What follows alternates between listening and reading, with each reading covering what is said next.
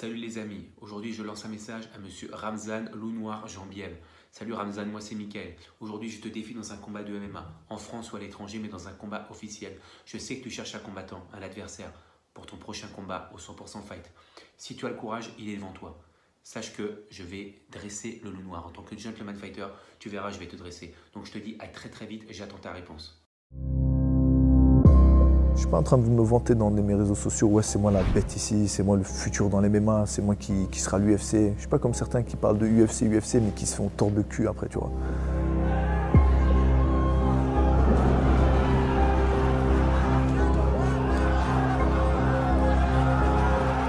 Avait un peu de pression à ce combat-là.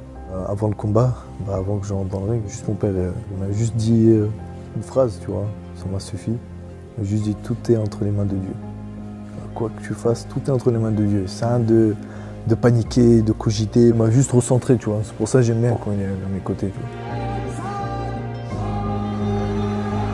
Мне было трудно, но я верил, что мой сын, он, что он будет идти до конца, потому что мы поэтому и, и тренируемся, чтобы хорошо сделать результат. Да, я очень рад за него. Le sourire de la, de la maman et le sourire du papa, c'est n'y a, pas mieux que, y a pas mieux que ce trésor-là, tu vois. J'ai euh, un peu plus de 200 combats, je pense, au moins, euh, parce que j'ai pu compter un moment, en, dans plusieurs formes de karaté, le karaté contact, le full contact, quelques combats en traditionnel. Je me lance en MMA, j'ai fait des combats en amateur, j'en ai fait 20, j'en ai gagné 17. L'histoire du karaté pour moi, c'est un champ de bataille japonais où un coup égale euh, un tué. Quand tu fais face à un karatéka, tu peux t'attendre déjà au respect, mais aussi à te faire démolir parce qu'il frappe sèchement. Et euh, quand il tape, il casse.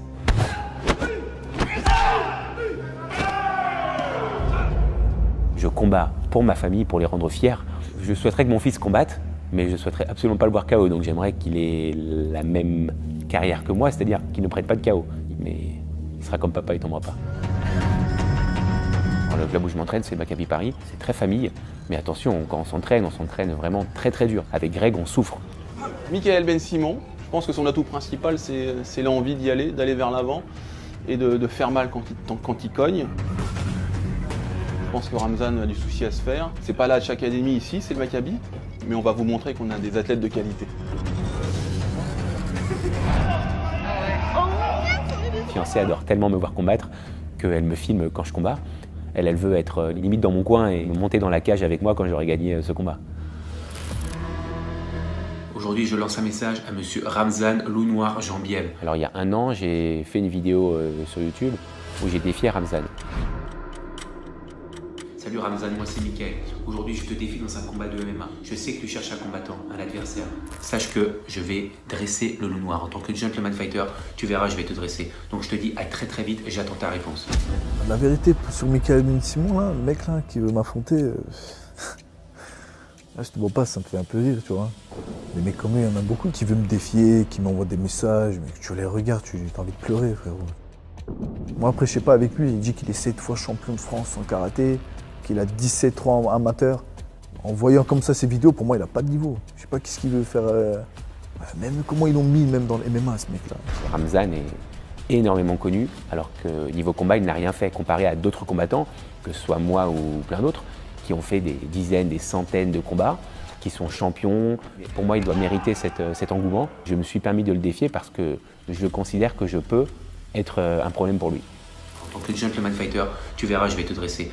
Et frère, un mec qui vient et qui dit je vais te dresser, euh, je vais te soulever, des trucs comme ça, c'est un mec, il faut direct le. Tu vois, je vais te faire manger le sol, tu vas comprendre, c'est quoi Tu me respectes, je te respecte, mais tu manques de respect, là, c'est autre chose, tu vois. Je t'éteins, frère, n'importe qui. Je n'ai rien de particulier contre Ramzan, mais je vais le mettre KO. Michael Ben Simon, je sais pas s'il croit qu'on va faire du karaté. Frérot, on fait du MMA. Dans une cage, tu peux te faire très très mal, tu vois. C'est la guerre, tu vois. C'est pas pour euh, une petite princesse, tu vois. T'as capté, faut, faut assumer après.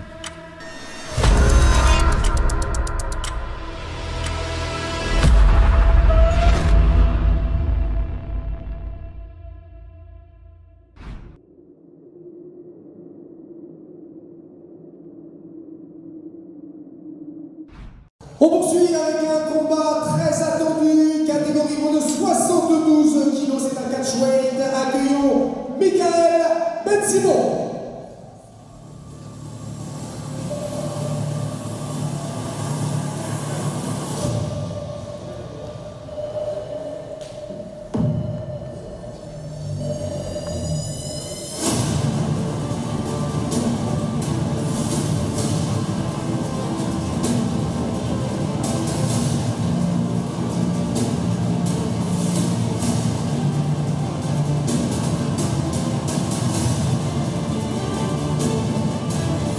Simon. Michael Ben Simon pesé à 72 kg et 500 grammes. Son adversaire pour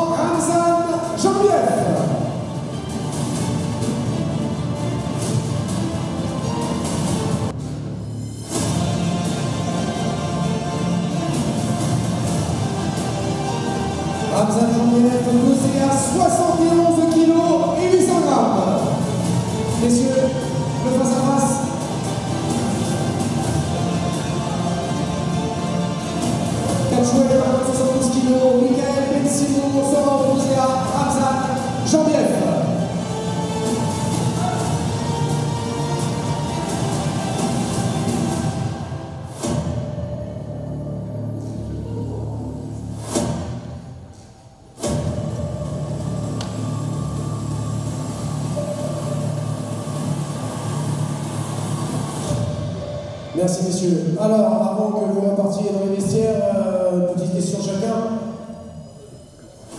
On sait ce qui s'est un peu passé sur les réseaux sociaux. Il y a eu beaucoup de, permettez-moi d'utiliser un terme un peu trivial, beaucoup de chambrage.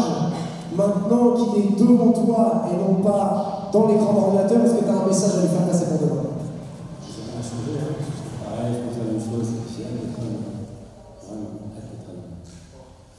Ramzan,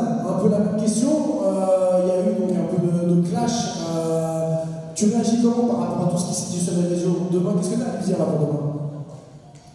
C'est demain. Rien que ça, c'est tout?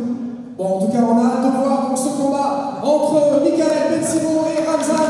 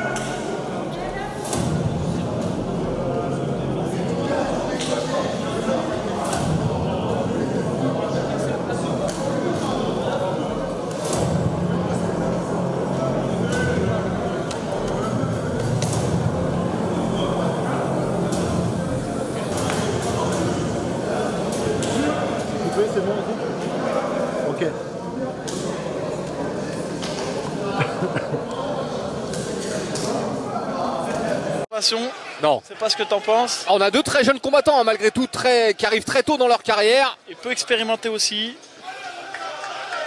Allez, c'est parti.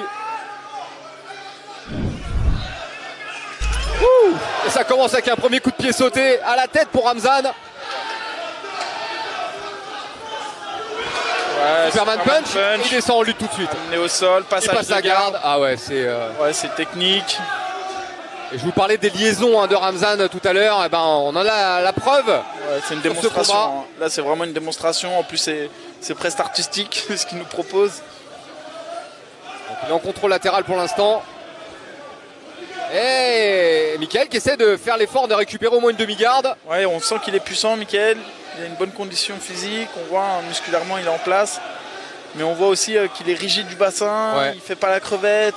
Donc, ce qui laisse présager qu'il a des grosses lacunes au sol. Ouais, Parce que là, il faudrait qu'il glisse, a priori, son genou droit à l'intérieur. hein, Exactement, qu'il fasse une crevette, c'est-à-dire qu'il sorte ses hanches pour repiquer son Voilà, genou. voilà, voilà. Et attention, là, il donne son dos. Ramzan qui récupère le dos tout de suite. Alors, il n'a pas mis les crochets encore, Ramzan. Je ne sais pas s'il veut les mettre ou s'il veut finir en, en gros TKO. Est-ce qu'il veut chercher la soumission? Est-ce qu'il veut abréger le combat? Est-ce qu'il veut prendre de l'expérience? C'est vrai que son précédent combat n'avait pas duré très longtemps. Elle est bien dans le dos là. Toujours des contrôles de lutteur hein, pour Ramzan. C'est Ouais, qu'un Jujitsuka là, il, serait déjà pris, il aurait déjà pris le dos depuis un moment. C'est ça, et puis il est très bas sur les appuis, on le sent. hein. Il pèse, les coups de genoux, c'est bien fait ce qu'il fait. travail de sape hein, bien évidemment. Ouais. Quelques frappes à la tête. Il essaie de le remettre sur le dos. Mickaël qui tient bien pour l'instant. Ouais, puissant. Après, il propose pas grand chose, mais il prend pas non plus de gros risques. Ramzan ne développe pas tant que ça. Il a les crochets Il a les maintenant. crochets, là, ça va être plus compliqué maintenant. Il faut contrôler au moins un bras. faut contrôler un bras pour Mickaël.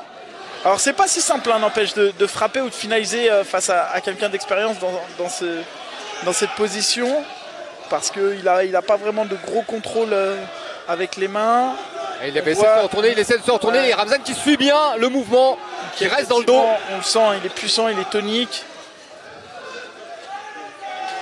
Ramzan qui fait un peu durer le, le combat.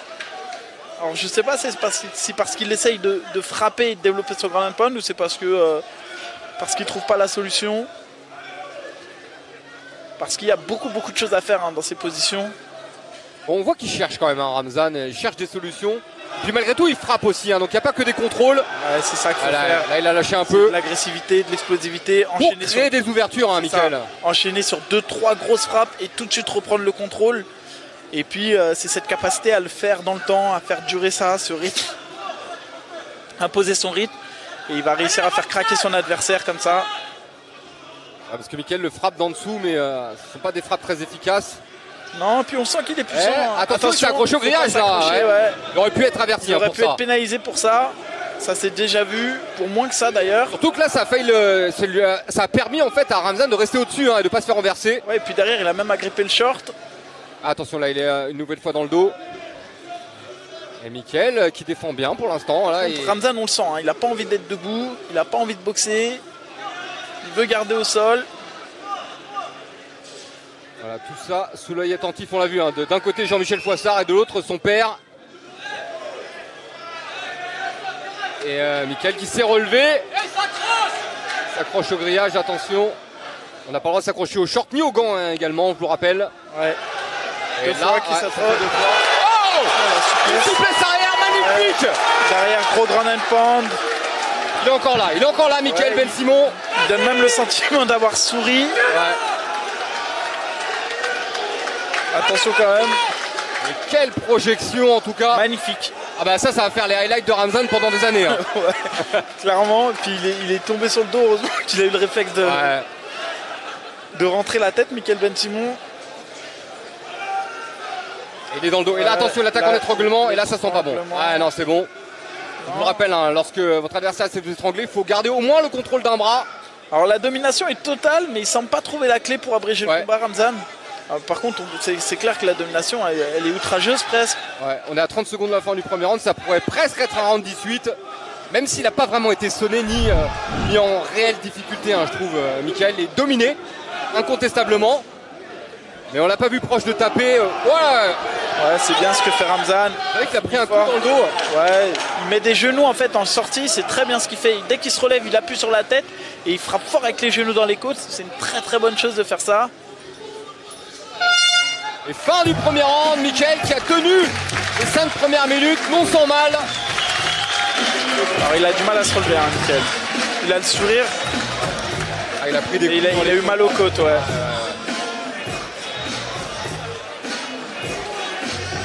Pour être honnête, je sais pas s'il va reprendre. Il a pris beaucoup de coups quand même. Ah, C'est dur hein, pour une entrée en matière dans le monde du MMA. Il a beaucoup subi dans ce premier round, l'amener au sol, le passage. Alors on voit hein, l'explosivité de, de Ramzan. La Quelle projection arrière, incroyable. Et elle a été filmée en plus. Très explosif, hein, Ramzan. Voir aussi s'il n'a pas dépensé trop d'énergie sur ce premier round. Il a beaucoup donné hein, également. Maintenant, ça lui fait de l'expérience de cage. Ça, c'est important, Michael.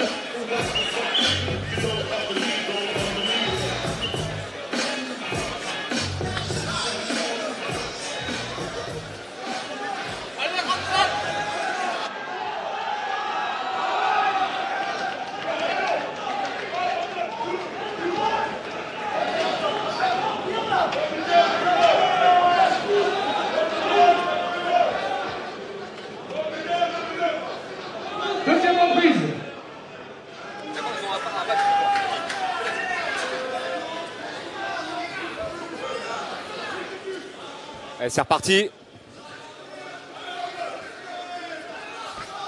Ouais, tentative de coup de poing retourné. Il tente sa chance, hein, Michael Ouais. Par contre, là, c'était mal inspiré, c'est- un peu le désespoir, ouais, d'aller chercher la lutte là, alors qu'on Ouais. vient de perdre. Magnifique fait Ramzan. Il se permet des choses, Ramzan. Il a repris le lot tout de suite. Et là, ça sent pas bon. Là, ça sent pas bon. C'est peut-être la fin du combat. Michael, regardez. Ramzan qui se déchaîne. L'arbitre qui est vigilant. Si Michael ne se défend pas efficacement, La- il la- va arrêter. L'arbitre qui devrait intervenir, je Il va comprends arrêter, il arrête, il arrête. C'est terminé. Et victoire de Ramzan Jambiev. Alors intervention un peu tardive pour moi de l'arbitre. On a vu qu'il n'en voulait plus. Ouais, on voyait qu'il n'en voulait plus l'adversaire. Il a pris énormément de coups premier round.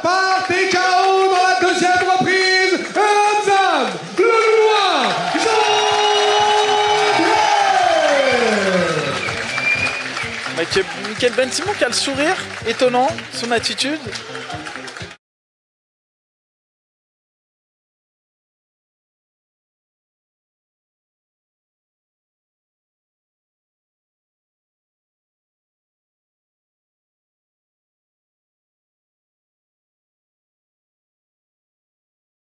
Alors, euh, Michael, donc, euh, tu sors de ton euh, gros combat, ce combat tant attendu face à Ramzan Jambiev il y a quelques minutes.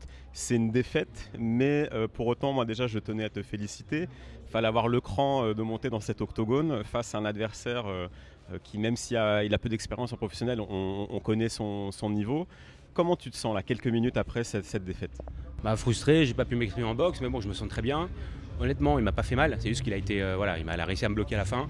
Il m'a fait euh, deux belles amenées au sol, notamment un beau soleil. Je le félicite pour ça. Il a été euh, à la hauteur. J'ai parlé, voilà, j'ai pas réussi à le dresser. Tant pis, mais j'assume ma défaite. Je suis encore une fois frustré parce que j'ai pas pu m'exprimer en boxe. Ça m'embête, mais il a été meilleur que moi. Je ne peux que le féliciter. Bravo Hamzan. Comment tu l'avais préparé ce combat? Il y avait énormément d'attentes. Tu, l'as créé par ailleurs. C'est toi qui es venu le chercher. Comment tu l'as préparé d'un point de vue psychologique ce combat? Bah, j'étais prêt, hein, je me, enfin, j'étais là, euh, je me sentais vraiment bien. J'étais jusqu'au dernier moment, j'étais, pour moi, j'allais le démonter. hein, je, dis la- je vous dis la vérité. Mais euh, il, a, il a su faire travailler sa lutte. J'ai pas pu faire, faire parler ma boxe. Mais voilà, je l'ai préparé euh, plus que je n'ai préparé aucun combat, que ce soit physiquement ou mentalement. Alors, on sait justement que Ramzan est, euh, est un lutteur, mais pourtant, euh, le premier enchaînement qu'il lance, c'est un saut avec deux, deux coups de pied par la suite. Ça t'a déstabilisé, ça? Je l'ai vu venir, pas du tout. Au contraire, je m'attendais à ce qu'ensuite il, il enchaîne en lutte. Il n'est pas venu, donc j'ai essayé de lui envoyer un low kick. Bon, il a dû, pareil, il m'a, vu venir aussi. Et après, on est parti sur la lutte, voilà. Mais non, ça ne m'a pas surpris. Je sais qu'il est. J'ai vu deux trois de ses coups de pied sur internet. Je sais qu'il a des beaux coups de pied. Il a tenté, il a fait le spectacle, c'est très bien. Contrairement à ce que euh, beaucoup pouvaient penser, ça n'a pas été une exécution. euh, C'est-à-dire que vous êtes allé à la seconde reprise, tu avais préparé ta lutte, tu as défendu. euh, face, encore une fois, je pense que les gens ne se rendent pas compte du niveau de Ramzan en lutte qui est en train de monter, monter, monter. Euh, donc tu as beaucoup bossé la lutte, c'était ça la stratégie? Bah, j'ai bossé la lutte pour défendre, justement pour euh, me relever et retravailler en boxe.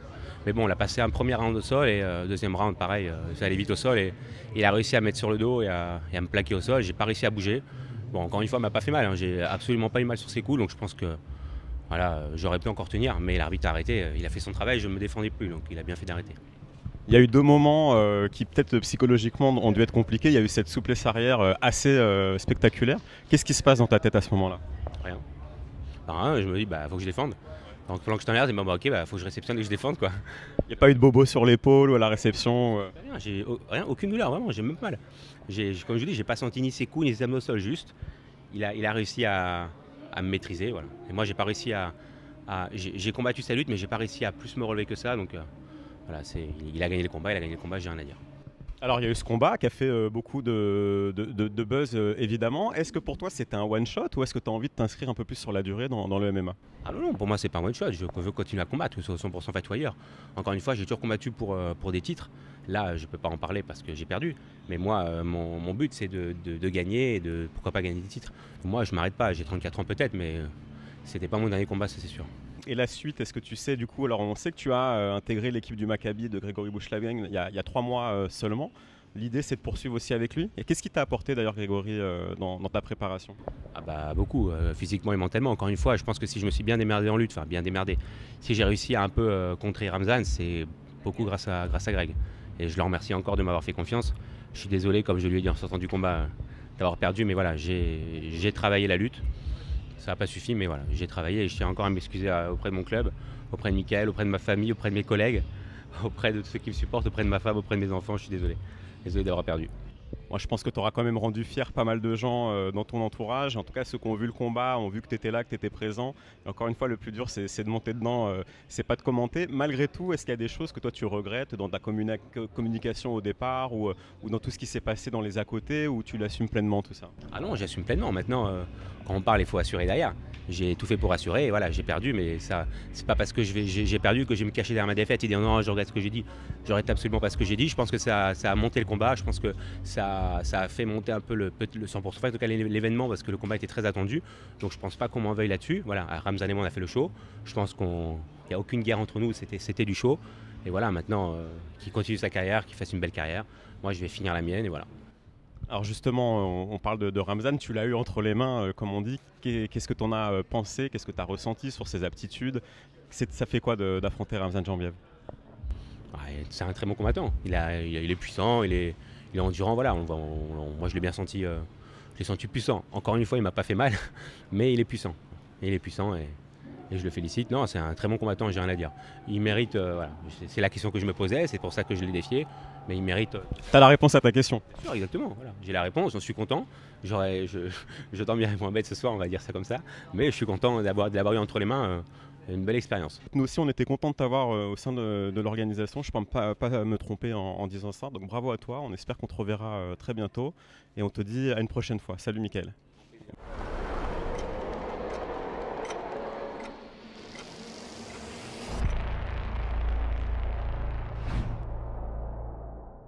Ramzan Jambiev, tu sors de, euh, ton combat, c'était il, y a quelques minutes. C'était une victoire avec un combat peut-être un peu plus disputé que ce qu'on aurait euh, pu penser. Quelle est ta, première euh, sensation en sortant de l'octogone Ma première sensation, bah, c'était une très bonne sensation. La fierté du père, la fierté de la foule, ça m'a fait plaisir. Lors de ton premier combat, euh, tu avais regretté, euh, je me rappelle, on en avait parlé, de t'être peut-être un peu précipité, de ne pas avoir fait durer un peu plus euh, l'instant. Là, vous êtes allé jusqu'à la deuxième reprise. Ça faisait partie des consignes que tu avais reçues de prendre un peu plus ton temps? Non, pas du tout. Je voulais essayer de finir, mais il était plus solide. Je sais qu'il était bon debout, parce que je l'ai vu tourner. Et voilà, je suis parti direct en lutte comme euh, je suis plus à l'aise en lutte, je, suis passé, passé en lutte. Alors justement, nous, on a pu parler avec euh, Michael Ben Simon. Il a dit qu'évidemment, il s'était préparé sur la lutte. Tu t'attendais à autant d'opposition de sa part? On va pas dire qu'il y avait une grosse de... opposition, c'est juste qu'il encaissait beaucoup. Il était dur, il était solide, il voulait pas lâcher l'affaire. Je lui ai envoyé plusieurs coups de genoux au niveau du, foie et de l'écoute, mais il a tenu. Mais j'entendais qu'il souffrait un peu. Les premières secondes du combat, on te voit lancer un coup de pied assez spectaculaire euh, avec un enchaînement. C'était quoi Ça, c'est de l'instinct? Tu l'avais préparé? Qu'est-ce qui s'est passé dans ta tête? C'était au moment venu. Je me suis dit, euh, pour vite euh, passer sur le côté, pour qu'il ne s'attend pas. Parce que là, il s'attendait que j'allais lui, j'allais avancer vers lui, mais non, c'était, j'avais fait ce que je voulais faire et ça marchait un peu. C'était pas une façon pour toi de lui montrer que tu étais prêt à faire la guerre debout aussi, puisque c'était censé être sa, sa spécialité? Oui, je cherchais aussi la guerre debout un petit peu. J'ai commencé debout, j'ai envoyé des coups de pied et tout ça, mais je préférais plus euh, aller au sol. Parce que comme il a dit, euh, personne ne pourra le mettre KO. Bah, j'ai cherché le KO. J'avais plusieurs, euh, plusieurs chances de, le finir en guillotine ou soumission ou étranglement arrière, mais je voulais pas le finir en étranglement. Ni en soumission, je voulais juste le terminer comme, comme il a voulu me dresser. Il y a eu deux moments assez spectaculaires. Il y a une souplesse arrière sortie de l'espace qui est arrivée. Ça, tu, l'as préparé, tu savais que tu allais le monter en l'air comme ça. comment, ça s'est passé? Euh, Je pensais qu'il serait. Euh, il était lourd, faut dire la vérité, il était lourd. Euh, j'avais compensé beaucoup d'énergie. J'ai récupéré très rapidement. Je l'ai envoyé, je l'ai senti. Mais c'était parti trop vite par contre. Je ne me suis pas contrôlé de ma force. Alors il y a eu ce combat, il y a eu tout un engouement autour, euh, notamment sur euh, les réseaux sociaux. On sait que tu es quelqu'un de très respectueux, de très humble et de très calme. Est-ce que tu étais vraiment à l'aise avec tout ce qui se passait, tout ce qui se disait? Euh, J'écoute pas, la vérité. Tant que je fais mes combats, tant que ma famille ils sont bien, ils sont à l'abri, voilà, je gagne mon pain pour eux, ça me suffit. De toute façon, un jour ou l'autre, soit j'irai, je dois y aller chercher la ceinture. Donc euh, ça va arriver, ça va arriver. Tu me parles de ceinture, je vois tes yeux euh, qui euh, pétillent, qui scintillent. C'est ça l'objectif, c'est d'aller chercher cette ceinture du 100% fight? Bien sûr, J'ai envie, de m'enchaîner là maintenant à cause du Covid. Je vais voir ce soir parce que là l'adrénaline il va tomber. On va voir si les douleurs ils se réveillent. Si ça se réveille pas, bah, je continuerai. Tu t'es senti progresser là de- depuis ton arrivée à l'Alch Academy? Il y a eu ce premier combat euh, le 29 octobre. Là, c'est le second. Euh, on t'a senti quand même euh, t'affirmer encore un peu plus dans la cage. une bonne gestion de la pression. Tu sens que tu progresses aussi? Bien sûr, j'ai cut. Mon coach, Boris, on a fait une grosse préparation. Ça m'a fait plaisir. Et c'est grâce à lui, avec le sol, le maintien. Je l'avais ramené près de la cage pour euh, écouter ce qu'il me disait. Ben, grâce à ce qu'il me disait, bah, j'étais à l'aise, tranquille. Bon, on te donne rendez-vous bientôt. Ça sera en 2022. Salut Ramzan. Merci à toi.